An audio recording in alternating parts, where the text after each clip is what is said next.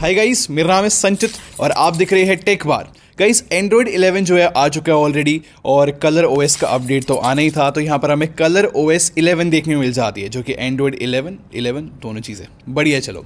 खैर, मैंने यहाँ पर बहुत ही कमाल चीज़ें नोटिस की है इसके अंदर। एक से एक फीचर हमें देखने को मिल जाते हैं। तो मैं अपने फेवरेट चीज़ से स्टार्ट करना चाहूँगा, जिसको देख के मैं बिल्कुल हैरान सा हो गया था कि भाई क्या क्या डाल दिया इसके अंदर। सेटिंग्स ऐप में मैं गया, और उसके अंदर हमें पर्सनलाइजेशन का ऑप्शन देखने को मिल जाता है। अब यहाँ पर हम लोग जो है वॉल चेंज कर सकते हैं काफ़ी डिफरेंट तरीके से, काफ़ी स्मार्ट तरीका है ये। अगर मैं कोई भी फ़ोटो खींचूँ या फिर आप लगा लो मैं कोई गैलरी में मेरी फ़ोटो है अब वो उसको जो है एनालाइज करेगा सिस्टम और देखेगा कौन कौन से कलर्स है उस वाली फ़ोटो के अंदर और उसके अकॉर्डिंग एक वॉलपेपर बनाकर दे देगा। So so, cool cool. मतलब मेरे को सुपर डुपर फैसिनेटिंग लगी ये चीज़ तो मैं सोचा आप लोग को बताऊँ। दूसरी चीज़, कितने ऐसे लोग होते हैं जो अपने फ़ोन में फ़ोन्स चेंज करना चाहते हैं? खैर कलर ओएस जो 11 हमें ऑप्शन दे देता है। अब यहाँ पर हमें डिफरेंट फ़ोन के ऑप्शन देखने मिल जाते हैं, उसका वेट चेंज कर सकते हो साइज़ चेंज कर सकते हो, ये भी एक कस्टमाइजेशन को नेक्स्ट लेवल लेकर जाता है। और हाँ भाई आप लोग को पता है कि जब कस्टमाइजेशन की बात आती है ना तो एंड्रॉयड सुपीरियर है बट कलर ओएस जो है ना, और ज़्यादा ट्विक कर चुका है चीज़ों को। अब यहाँ अगर आप लोग को कलर एक्सेंट चेंज करना है तो आप उनको मल्टी कलर बना सकते हो या फिर एक स्टैटिक कलर भी चूज़ कर सकते हो, जो भी आपको पसंद आ रहा है। तो ये भी यार एक नेक्स्ट लेवल लेके जा रहा है। आप यहाँ पर ऑप्शन देख रहे हो, कितने सारे बढ़ गए हैं। ऐसे मैंने नोटिस किया था कि अगर आप लोग ऐप्स के आइकन चेंज करना चाहते हो नोटिफिकेशन वाले जो नोटिफिकेशन पैनल वाला जो होता है, उसके भी आइकन्स चेंज करने हैं, उनका साइज़ शेप वो सब कुछ हो जाता है। ये देख रहे हो कितने सारे ऑप्शन यहाँ पर डाल दिए सुपर डुपर लगी मेरे को ये चीज़। अब नेक्स्ट फीचर जो है मेरे को बहुत ही यूनिक लगा था। अब इसके अंदर आप कस्टमाइज कर सकते हो रिंगटोन अपने मूड के अकॉर्डिंग या फिर अपनी पर्सनलाइज रिंगटोन बना सकते हो। और ये सीरियसली बहुत ही सही काम कर रहा है। मैंने मतलब सच में टाइम वेस्ट किया इसके ऊपर। बट एक्चुअली में जो रिज़ल्ट थे वो वेस्ट मतलब टाइम वेस्ट वाले मुझे लगे नहीं। बहुत अच्छी रिंगटोन बनकर आई थी। ये इसके लिए थम्सअप है। दूसरी बात ऑलवेज ऑन डिस्प्ले बहुत सारे लोग यूज़ करते ही है। अब यहाँ पर जो है हम क्लॉक चेंज कर सकते हैं। उसका टेक्स्ट वगैरह, हर एक चीज़ जो हम कस्टमाइज़ कर सकते हैं और ऊपर से यहाँ पर हमें पैटर्न भी बना सकते हैं। लाइक बहुत डिफरेंट डिफरेंट पैटर्न्स बनते हैं और मैंने सीरियसली इनके ऊपर बहुत टाइम स्पेंड किया और बहुत मज़ा आ रहा था। ये मुझे बहुत ही सही चीज़ लगी। खैर कस्टमाइजेशन से मैं आप लोग को एक और बात बताता हूँ। डार्क मोड डार्क मोड जो है भाई, बहुत ही फैसिनेटिंग चीज़ लगती है बैटरी बचाती है, आँखों पर स्ट्रेन कम करती है और मेरे को मस्त लगता है डार्क मोड का फीचर और यहाँ पर कलर ओएस 11 के अंदर इसको और ज़्यादा इनहेंस कर दिया है। अब यहाँ पर हमें तीन मोड देखने मिल जाते हैं। कि इनहेंस्ड है, जिसके अंदर बिल्कुल ही डार्क मोड होता है, बिल्कुल पिच ब्लैक जो कि में सबसे अच्छा रहता है। दूसरा यहाँ पर जो है ना, हमें मीडियम सेटिंग का देखने मिल जाता है। इसके अंदर जो है, हल्का सा ग्रे स्टोन आ रही होती है डार्क सी, और फिर और उसका लाइटर वर्जन मिल जाता है थर्ड के अंदर, जो कि बिल्कुल ही ग्रे सा लगता है। तो यहाँ पर आप अपने अकॉर्डिंग चूज़ कर सकते हो, और इसके अंदर भी जो है कॉन्ट्रास्ट रेशो आपकी लो लाइट कंडीशन के अकॉर्डिंग ये सब कुछ चेंज हो ही जाती है। अब इसी का एक और लेवल ऊपर ले लो कि अगर आपका कोई वॉलपेपर है आइकन है, वो भी डार्क मोड के अकॉर्डिंग चेंज हो जाएँगे। तो यहाँ पर भी जो है बहुत सारी हमें एक तरीके से फैसिलिटीज़ देखने को मिल जाती है। और इस नई कलर ओएस इलेवन के ना मुझे विजुअल चेंज भी काफ़ी ज़्यादा पसंद आया है। जैसे कि मैंने नोटिस किया कि जो नोटिफिकेशन पैनल है, वो बहुत ही ज़्यादा मॉडर्न सा कर दिया है लाइक मिनिमाइज सा कर दिया है हर एक चीज़। ये मेरे को बहुत अच्छी लगी है और ट्रांसपेरेंसी वगैरह भी बहुत सही है। और अगर मैं यहाँ पर आप लोग को वाईफाई की क्विक सेटिंग्स दिखाऊँ तो वो यहीं से देखने को मिल जाते हैं नोटिफिकेशन पैनल के अंदर। मेरे हिसाब से काफ़ी सही चीज़ है। और अगर मैं आप लोग को ऐप ड्रॉट्स दिखाऊँ तो आप उसको सॉर्ट कर सकते हो नेम या फिर इंस्टॉल टाइम से। काफ़ी बार ऐसा होता है ना कि हम लोग कोई ऐप इंस्टॉल करते हैं, फिर उसको मिलती नहीं है वो तो आप जो इसको सॉर्ट कर सकते हो इंस्टॉल टाइम से, वो ऊपर आ जाएगी। ये मुझे काफ़ी सही चीज़ लगी। खैर, अगर आप लोग को मैं एक और बात बताऊँ अनइंस्टॉल करना बहुत ही ईजी कर दिया है। आप मल्टीपल ऐप सेलेक्ट कर सकते हो और एक साथ अनइंस्टॉल भी कर सकते हो। और अगर आप होम स्क्रीन में जैसे पिंच करते नीचे, आपको जो एक मॉडर्न सा यहाँ पर टूल किट देखने को मिल जाएगी। अब यहाँ पर ट्रांजिशन हर एक चीज़ आप चेंज कर सकते हो एनिमेशन वगैरह। और ऊपर से अगर आप चाहते हो अपने डेस्कटॉप पे नंबर ऑफ़ रोज़ और कॉलम्स को बढ़ाना जैसे ज़्यादा ऐप्स फिट कर सको, वो भी पॉसिबल है।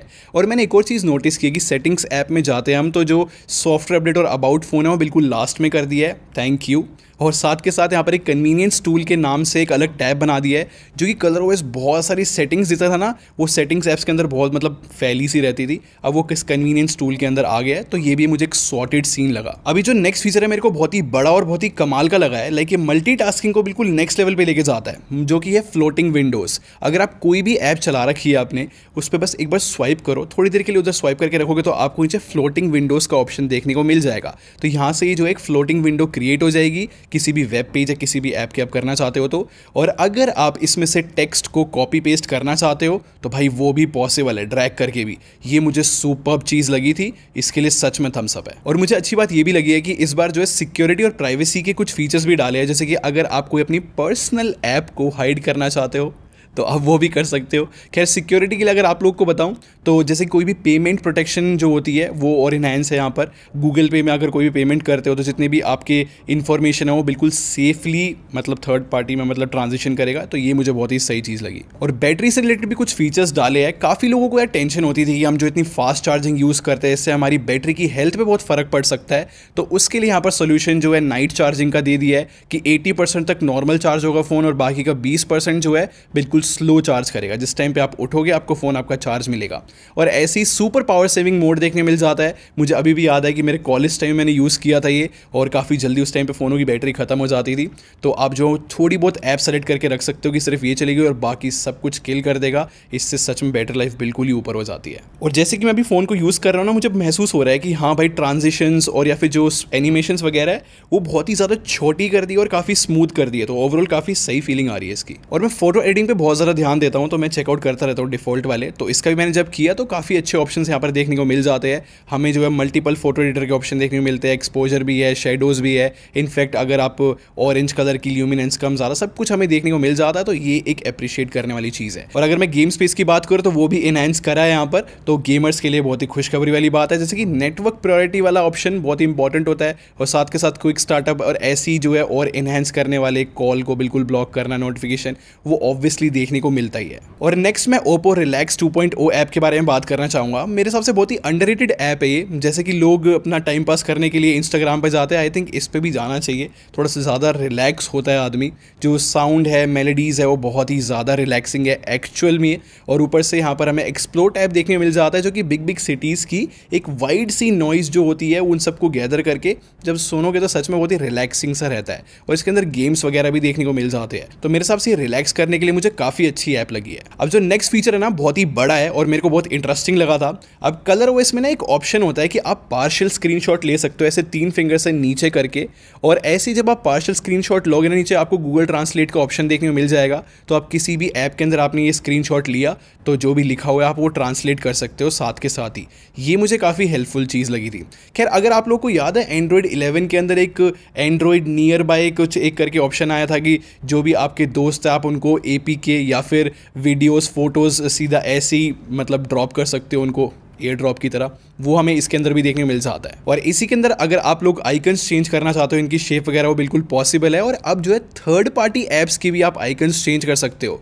ये जो है, मैं वेट कर रहा था और अब ज़्यादा कंसिस्टेंट लुक आता है पूरी यूआई का। वैसे मैंने कैमरा ऐप के अंदर भी थोड़े बहुत चेंजेस देखे हैं। अगर यहाँ पर एक सेटिंग है, अगर कुछ भी स्टेन दिखता है लेंस के ऊपर कुछ भी गंद की तो ये आप लोग को मतलब बता देगा कि हाँ भाई, साफ़ कर लो अपना लेंस बाकी यहाँ पर हमें इनर्शिया जूम देखने को मिल जाता है। अगर आप लोग जो है, बिल्कुल स्मूथली जूम करना चाहते हो वीडियो बनाते समय तो वो ऑप्शन ज़रूर देखने को मिल जाता है। और साथ के साथ जो वीडियो के एच डी है, वो ज़्यादा इंप्रूव कर दिए और जो स्टेबलाइजेशन के एल्गोरिथम थे, वो भी ज़्यादा इंप्रूव कर दिए खैर, यहाँ पर जो है ज़्यादातर फीचर्स मैंने आप लोग को बताई दिया है, लेकिन एक और नोटिस मैंने किया, अगर आप पर्सनल हॉटस्पॉट बनाते हो तो वो क्यूआर कोड के थ्रू भी मतलब कोई उसको कनेक्ट कर सकता है।